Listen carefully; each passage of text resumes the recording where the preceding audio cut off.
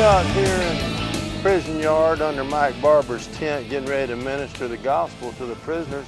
It's empty right now, but it's going to be full of people who need to know the truth in a few minutes. We're just here a little bit early. Let me read this scripture here. In the book of Joel, in the second chapter, God's talking about the future, and He said, I will restore or replace for you the years the locust has eaten. In other words, the bad choices that, that I made, the sins that I chose to do, the ways that I messed up my life.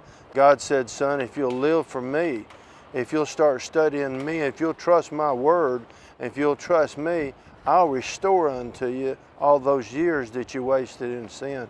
I'm almost 70 years old, and I want to testify to you today that God is restoring the years that the devil stole from me because I was ignorant to the truth and I didn't trust God and I didn't do what He said.